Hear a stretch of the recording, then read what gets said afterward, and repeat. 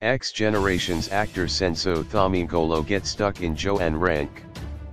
Things we didn't know about Jo-Anne Reyneke.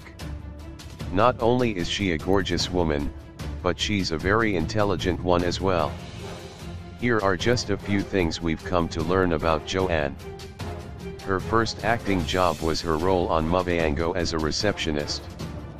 She is originally from Peter Pietermaritzburg she got the role on Muvhango immediately after auditioning for the role.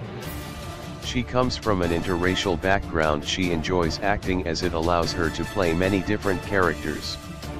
In case you've been living under a rock, yes, actor Thami Mngqolo are an item and have two kids together.